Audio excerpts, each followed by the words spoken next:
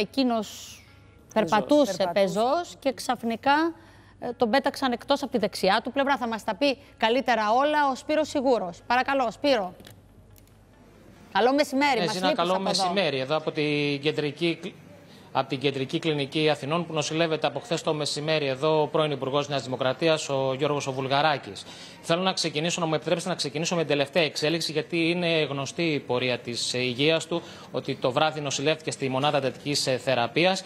Να πούμε λοιπόν ότι πλέον από τις 11 η ώρα το πρωί, πριν από λίγη ώρα, έχει μεταφερθεί ο πρώην Υπουργός σε θάλαμο νοσηλείας και είναι στο πλευρό του η σύζυγός του Κατερίνα και η οικογένειά του. Ε, αυτή είναι η τελευταία εξέλιξη. Όλα βέβαια ξεκίνησαν χθες στις 4 παρατέταρτο το απόγευμα. Διέσχιζε τη Βασιλίζη Σόλγας. Ένα αυτοκίνητο τον ε, τραυμάτισε, τον παρέσυρε ε, εκεί στο ύψος του εισόδου του Ζαπίου. Διακομίστηκε αμέσως εδώ στο νοσοκομείο. Έγιναν ε, οι απαραίτητες εξετάσεις και διαγνώστηκε ε, με ένα α, συντριπτικό επιπλεγμένο ε, κάταγμα πρώτου βαθμού δεξιάς κνήμης. Είχε και μια κάκωση Παραδεξιά. ε, στο χέρι, όμως... Ναι, ε, στο- Άρα όλη το του η δεξί- πλευρά το ήταν η δεξί του δεξιά. χέρι. Από εδώ. Η δεξιά, ακριβώς. Ακριβώς. Ε, ακολούθησε λοιπόν ε, μία λεπτή χειρουργική επέμβαση σε αυτά το απόγευμα ε, που κράτησε περίπου τρεις ώρες με μια ομάδα χειρουργών ορθοπαιδικών με επικεφαλής τον κύριο Παπαγιανόπουλο. Ε, τελει- ολοκληρώθηκε στις 10 η ώρα και αμέσως μετά ε, μεταφέρθηκε, όχι διασωληνωμένος όμως, είχε άριστη επικοινωνία στη μονάδα εντατικής ε, θεραπείας ε, προκειμένου να αποφευθεί το ενδεχόμενο της οποιασδήποτε μετεγχειρητικής επιπλοκής.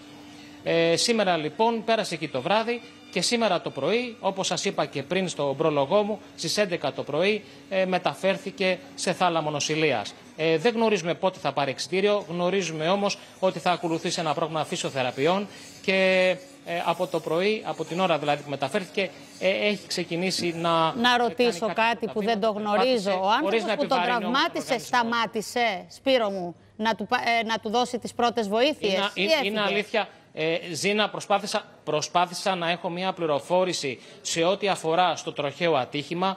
Από το νοσοκομείο δεν μπόρεσα να έχω κάποια πληροφόρηση σχετικά με τις συνθήκες του τροχαίου ατυχήματος ε, του πρώην Υπουργού.